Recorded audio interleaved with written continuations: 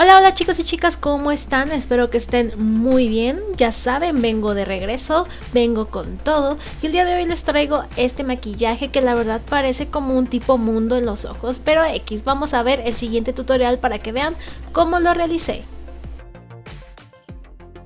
Y bueno chicas, para este maquillaje vamos a estar utilizando dos tonos de la paleta de Perplex. Recuerden que la paleta de Perplex es mi favorita del momento. Y vamos a estar utilizando este tono naranja y después vamos a estar utilizando este tono rojo. Ya saben, para primero y segundo tono de transición. Y recuerden muy bien difuminar. Y vamos a difuminar un poquito más con una brocha biselada limpia. Ahora chicas, siguiente paso, vamos a limpiar todo esto, vamos a marcar más bien nuestro párpado en forma circular pero vamos a limpiarlo con desmaquillante y un pincel y con cotonetes. Ahora vamos a aplicar corrector y vamos a hacer pues este circulito perfecto. Aquí chicas, tómense su tiempo. Y obviamente para sellarlo estaré utilizando esta sombra azulita que la verdad está súper bonito. Este color me encantó, que es de la paleta de NYX. Y vamos a estarlo concentrando así como en forma de diagonal hacia adentro bien padre.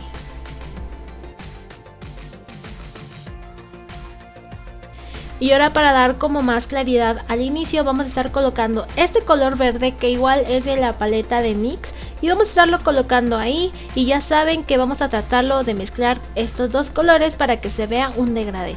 Ahora chicas para darle un toque más bonito vamos a estar utilizando este glitter que viene de la paleta de redes sociales de Sara Maldonado y vamos a estarlo colocando en el mero centro poco a poquito que termine en pico.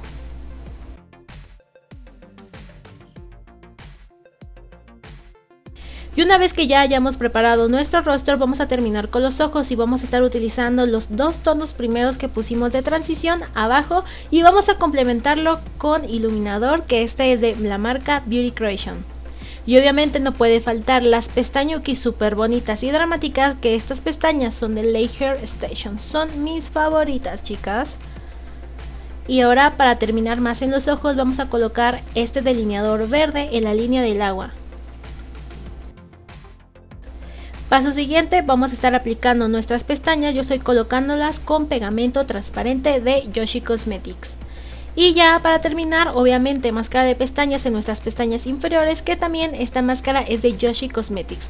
Y ahora sí chicas, para terminar y rematar, vamos a aplicar este labial rojo súper bonito de Vogue y este maquillaje ya está terminado. Espero que les haya gustado chicas, nos vemos, bye bye.